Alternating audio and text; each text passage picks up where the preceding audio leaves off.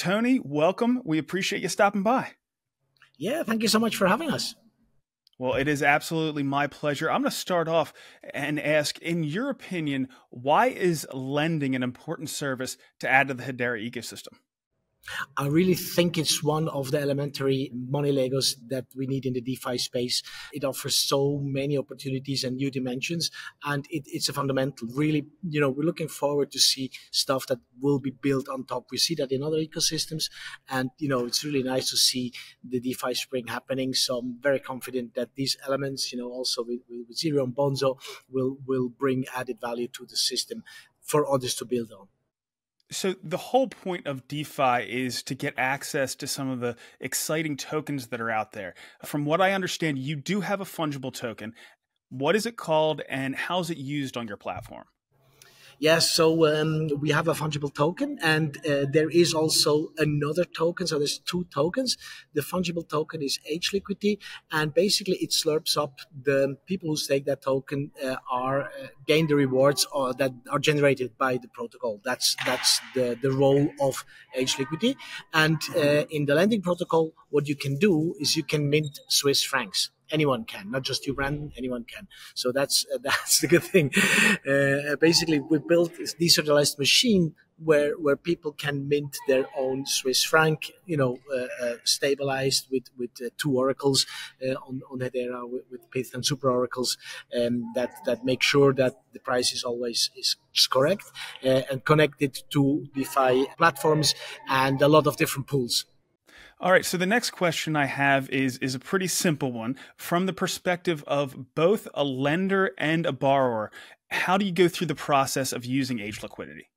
So this is the same person. Uh, HLiquity really, uh, you bring HBAR and you receive Swiss franc, and basically, the the HBAR is parked in a so-called trove, and it's on the side for you, and you can use the Swiss franc that you mint to do whatever you want. You can put it in other DeFi protocols. You can use it to pay, you know, bills. There's already a company, a gaming company in Switzerland that uses accepts the Swiss franc as payment.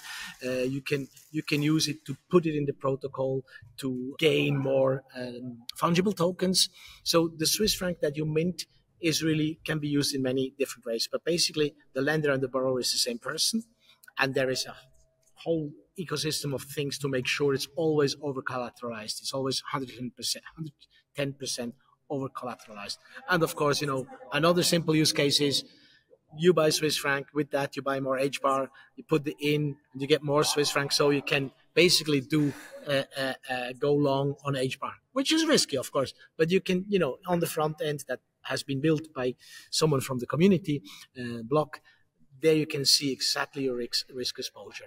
And if it's below 110%, somebody else can close your trove, and the people from uh, that are staking uh, and then and have HLiquity tokens will be rewarded. So, going back to the Swiss franc, are there going to be other tokens that you can borrow, or are you going to stick with the Swiss franc? So, the, what we build is immutable uh, you know, we built it. It's out there. We we are currently in discussions in terms of strategy. You know, what are our next steps? And of course, of course, we have a lot of different ideas. You know, adopt other currencies. There's legal stuff that we discussed. Uh, adopt other mechanisms. Uh, have more collaterals. Uh, we also think of what we built is not new. That has been built on uh, Ethereum before. It's been rock solid for many years, uh, hasn't been exploited, has been very successful in terms of volume and reward. So, so we think it will have the same in the Hedera ecosystem.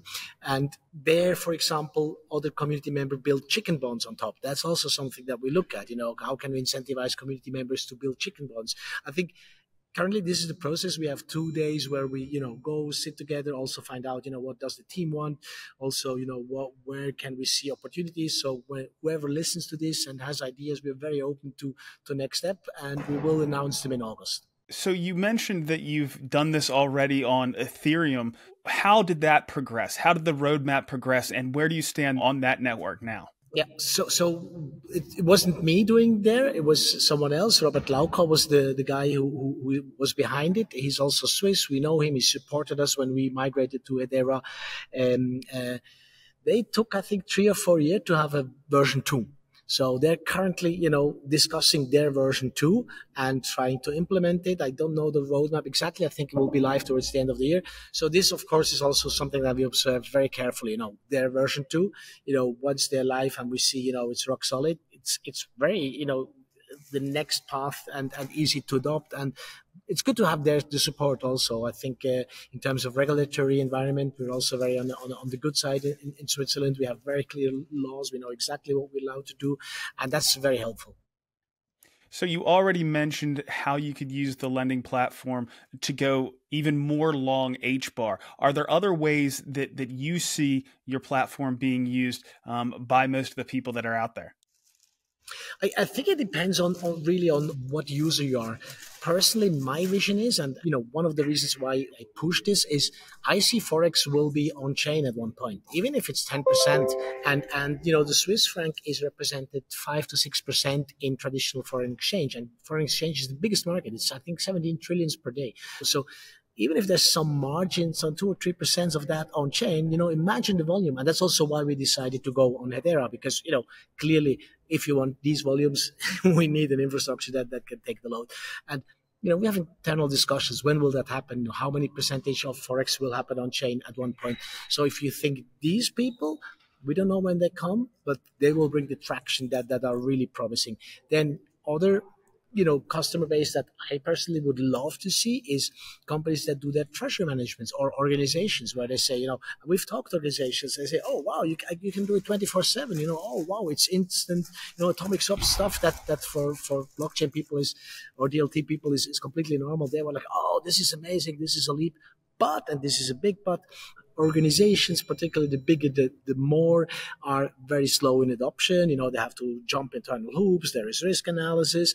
And of course, also, you know, there's sometimes politics, you know, decision maker, you know, if he takes a risky decision, it impacts his career. And, and so sometimes you discover organizations that rather do nothing than take an opportunity because if they don't have pain, they, they, they will not change. So, so our strategy is not to address the industry leader, but the, the, the, the challenger because they are opportunity driven. So I think, you know, treasury management is a big thing. And also if you're just sitting on your HBAR and, and, you know, you understand the mechanism of people having an emotional thing about Swiss currency and the belief that it is super strong and low inflation. We have a community, from what I understand, in, in Southern America that, that clearly, you know, says US dollar, yes, but also Swiss franc, yes, yes. So th- that's the other thing.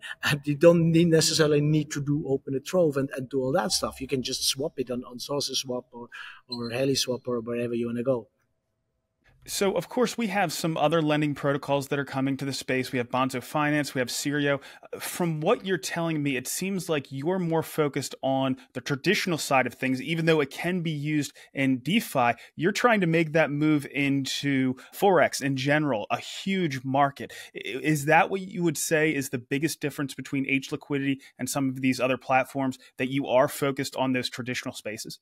I'm not sure. I think also in terms of, of you know how the stuff works, our is is, is you know very simple minded. You know, it's if you bring something, you get something, and it's not a two sided market. I think that's one thing, and it's very dumb. You know, it's no AI involved. So so I think that that's that's also you know I, I love the idea of, of, of AI in, in a lending protocol, but quite honestly, I don't you know, maybe I'm not smart enough, but it's like, ah, I want to see it working because I learn when I, when I play around and when I work. And, and, and so I, I think that's, I'm, very curious to see what, what will happen there with, with Cirio. I played around a lot with Bonzo. I love it, what they're building. Uh, and, and I talked to the Cirio guys, great stuff, you know, but I want to, I want to play around to understand better. So I think, but it's also amazing because I know the protocol. I think ours is a bit, you know, simpler you bring H1, you get Swiss franc, that's it. Of course, there's a lot of ways how you can, you know, profit from the HLiquity token and staking and all that.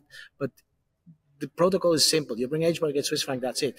And, and, and I think that that's the biggest difference. Uh, and then in terms of target group, you know, that's our vision, but it's not our product. You know, we built the code. It's out there in the wild and you know we can't force you to use it. So and, and, we will not also because it's not our product. We gave this away to the community. And if you brandon say you know you want to make instead of a swiss franc i don't know some some some currency of some country you can do it. The code is there. It's all it's all belongs to the community. That's fantastic. So before we let you go tony is there anything else you'd like to pass on? Yeah, sure. So, so, so personally, I think um, you know with Hedera we really do have an infrastructure that is great, and and you know that that is enterprise grade, and you know whenever you get the chance to, to, to talk to decision makers and you know make them curious you know don't force them to use it but just make them curious i think that's and tell them the you know the opportunities and also tell them you know there's other companies that already use it you know they accept this as payments you know and and everything is, is clear you know we know the tax things everything is settled you know don't don't worry. And i was even talking to an innovation company and i said you know i want to pay you with this and they say well we don't have a wallet. And i said guys you have email you have website you have social media. Now it's a third wave of digitalization. It's the the digitalization of values you need to, to adopt and play around, even if you just accept a little thing, make people curious, you know, have them play around, test them, tell them that, you know, you can map all the governance stuff that you have traditionally in a company with multi-sig, you know, and all that. So I think we really need to, to also, you know, on a, on a personal level, make people curious. I think that's, that's where adoption starts. I think that's a great message to lead on. Congratulations on getting to this point. We're really looking forward to what you're building. Thanks for building on Hedera and good luck. Thank you so much for having us and uh, all the best. I'm now posting these interviews of Hedera builders independently to my channel. The community, influencers, and media outlets are free to use this content to spread the word on what's being built on Hedera. Once they're all uploaded, you'll be able to go to my channel and search for whatever topic or team you're interested in to find more information. Or you'll be able to get the most recent Hedera news by watching the latest HBAR weekly update, so check them out.